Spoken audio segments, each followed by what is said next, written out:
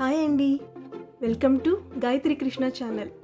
మనకు బయట దొరికేటువంటి దానికంటే కూడా టేస్టీగా హెల్తీగా ఇంట్లోనే పాపిడి చాట్ ఎలా చేసుకోవాలో ఈరోజు చూసేద్దాం.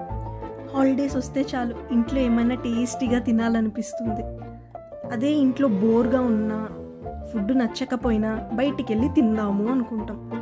అదే బయట దొరికేటువంటి మంచి మంచి టేస్టీ ఫుడ్డే మనం ఇంట్లో చేసుకోగలిగితే అబ్బో హెల్త్కి హెల్త్ సేవింగ్స్కి సేవింగ్స్. సో ఇంట్లోనే చేసుకోవటం ఎలానో చూసేద్దాం. మనకి పాపిడి చాట్కి ఇలాంటి చిప్స్ బయట ఈజీగా అవైలబుల్లో ఉంటాయి. సో అలాంటి చిప్స్ తెచ్చుకొని ఒక ప్లేట్లో మనము ఫస్ట్ ఇలా అరేంజ్ చేసుకోవాలి వరుసగా. లేకపోతే రౌండ్గా కూడా మనం అరేంజ్ చేసుకోవచ్చు. నేను ఇక్కడ ఆల్రెడీ పుదీనా కొరియాండర్తో కలిపినటువంటి ఈ శాండ్విచ్ స్ప్రెడ్ని నేను తయారు చేసి పెట్టుకున్నాను.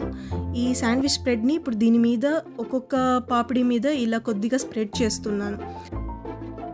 దాని తర్వాత కొద్దిగా టొమాటో కెచప్ తీసుకొని అది కూడా స్ప్రెడ్ చేస్తున్నాను. కొద్దిగా తీయగా పాపిడి చాట్ కావాలనుకుంటే టొమాటో కెచప్ ఎక్కువ స్ప్రెడ్ చేసుకోవచ్చు. లేకపోతే కొద్దిగా చేసినా కూడా సరిపోతుంది. ఆ తర్వాత మనం ఆల్రెడీ కట్ చేసి పెట్టుకున్నటువంటి వెజిటేబుల్స్ని ఒకదాని తర్వాత ఒకటి అరేంజ్ చేస్తూ వద్దాం.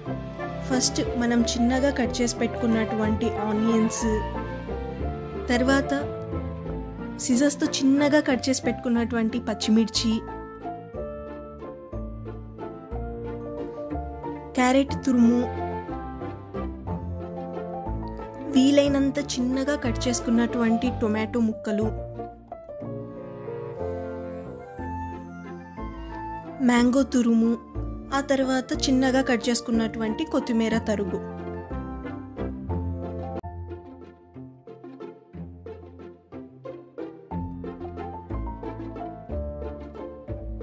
వెజిటేబుల్స్ అన్నీ స్ప్రెడ్ చేసిన తర్వాత చింతపండు రసం మనం తీసి పెట్టుకున్నాం కదా అది కొద్దిగా స్ప్రెడ్ చేసుకుందాం. పుల్లగా ఇష్టమైతే కొద్దిగా ఎక్కువగా వేసుకోవచ్చు.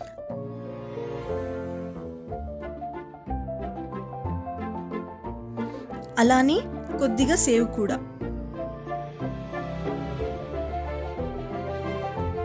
చివరగా పాపిడి చాట్లో ఇంపార్టెంట్ పాట్ చాట్ మసాలాని బాగా స్ప్రింకిల్ చేసుకోవటం మన tasty tasty papdi chaat ready.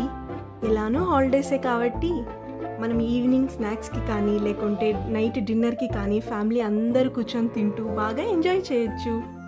మీకు ఈ రెసిపీ నచ్చినట్టయితే Please like, share and subscribe.